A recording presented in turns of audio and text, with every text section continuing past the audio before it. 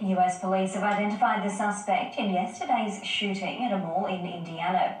20 year old Jonathan Douglas Sapirman killed three people and injured two after being fatally shot by a legally armed man. Police say the situation could have been worse without this heroic action.